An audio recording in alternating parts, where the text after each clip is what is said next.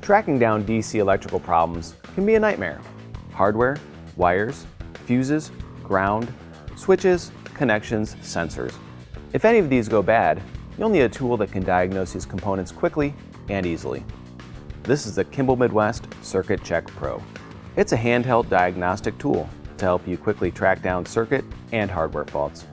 To use the circuit checker, start by attaching the clips to the battery. You've got 20 feet of lead, enough to reach almost any point on your vehicle. With the tool in DC voltage mode, it will display voltage and illuminate red for positive and green for negative. Another great feature is the ability to activate components. Just be careful when you use this feature on voltage sensitive components like computers and airbags. Place the tool in resistance mode and you can trace a bad ground and test sensors. Other useful features include a real-time graph and a diode test mode. The tool also features LED lights for working in the dark and a cigarette lighter adapter for working in vehicle interiors.